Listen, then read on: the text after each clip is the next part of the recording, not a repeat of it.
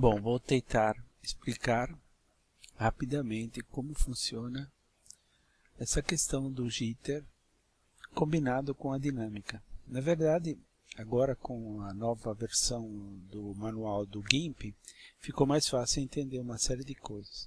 Uma delas é a função do jitter, é da curva da dinâmica jitter, que ela, ela funciona junto com, a, com esse parâmetro, né, com essa função jitter que tem no tool, tool, Tools Options. Então, é, para você é, controlar essa taxa, você usa a curva. Né?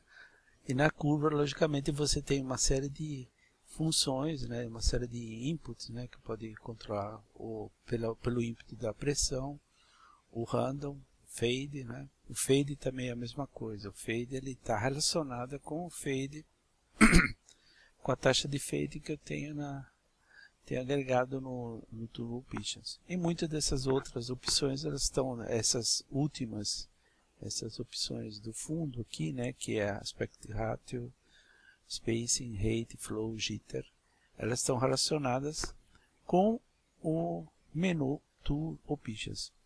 Bom, eu fiz uma, desculpe, uma dinâmica para simular simular um pouco o wetting, né, a, variabilidade do wetting, do, da técnica da aquarela, né, é, com um spread, né, com uma, uma, variação da taxa do spread.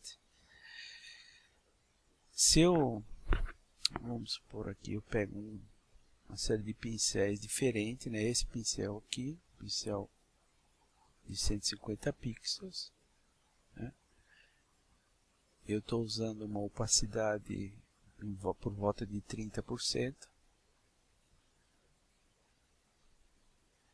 Ela funciona, ela controla um pouquinho melhor a, o spread, né? sem, sem essa curva, o spread fica praticamente é, muito grande, né? Por exemplo, se eu soltar aqui a curva, né? tirar ela, Tá vendo? O spread fica muito violento, né? Então, com a curva, a função da curva, a função da curva qualquer é controlar o spread, fazer com que ele, eh, se mantenha dentro de um certo limite. E isso é bom é, para várias coisas, tanto para raster como paramétrico, porque daí você tem um controle melhor em função da pressão, né? da, do spread, você consegue é, impor vari, variabilidade nos, nos, no, nos pincéis. Por exemplo, vou pegar um paramétrico, né? eu uso a dimensão oficial dele. Aqui a gente não vê muito por causa do amarelo, vamos colocar um vermelhinho aqui. Ele já, já começa, tá? Se você aumenta essa taxa, logicamente a, o spread aumenta. Só que e, o que, que acontece? Você tem um controle maior, né? um controle maior. Se você soltasse a curva, o que acontece? Acontece um, uma pulverização violenta, né?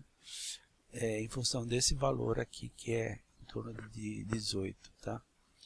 A vantagem disso é que você pode usar com esse tipo de curva, você pode usar é, indistintamente, tanto para pincéis é, raster, né, como que é esse aqui, né,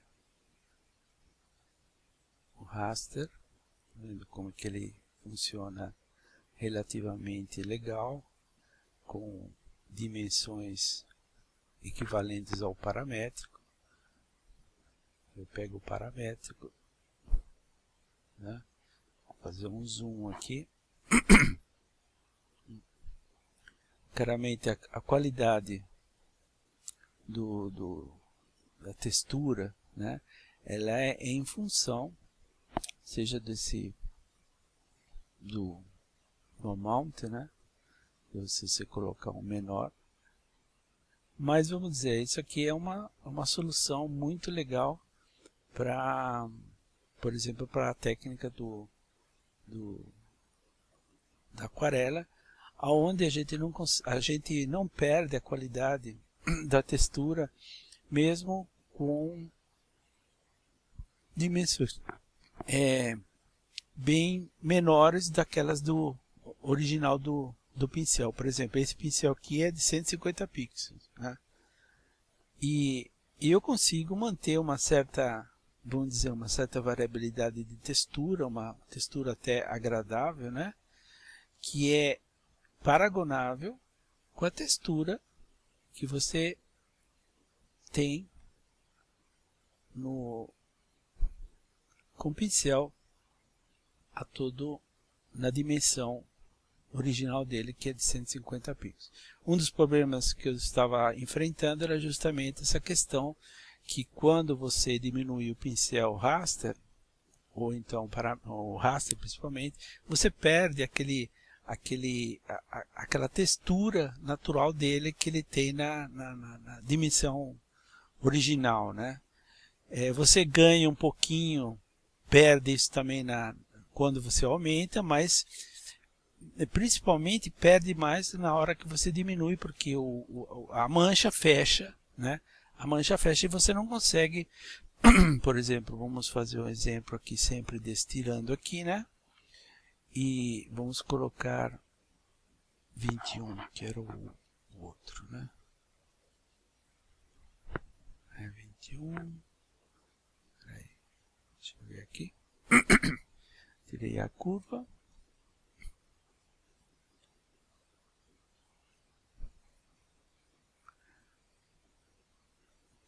É. O, o, o como se diz a o, spread, né? O jitter ele funciona, o jitter ele funciona bem, né? É, para mesmo sem a curva, só que o problema é que quando você é, você muda de pincel entre paramétrico ou raster, a, a mudança é muito violenta entre um outro, principalmente devido à dimensão, tá? Então, por exemplo, uma dimensão de 150, esse negócio, a, a, o jitter fica violento, né? É, se eu pego o paramétrico, paramétrico coloco 21, logicamente ele está mais comportado, mas está equivalente porque é, é, é 21 pixels, né? Está aceitável. Quando eu controlo através da curva, tudo fica um pouquinho mais, como se diz, comportado e aceitável, tá? E você, logicamente, você quer aumentar, você pode aumentar esse, esse, esse valor, né? O ganho, como você tem uma curva de atenuação, o ganho é muito mais é, é muito mais fácil você controlar esse ganho do que se você se eu não tivesse essa curva um pouquinho achatada embaixo, tá? Bom, é isso aí. A, a técnica eu acho que ela resiste, né? Ela funciona legal tanto para um caso como para outro. Tá? tá vendo aqui eu tenho um, um, um, jitter bem alto, né? Num, num, num, num pincel de tipo raster, né? E mesmo com a, a medida original, ainda é bem aceitável a pulverização do, do pincel, tá? É, logicamente você pode controlar isso aqui diretamente nesse ganho aqui, que é muito mais fácil que você ficar mexendo em curvas. Bom, é isso aí.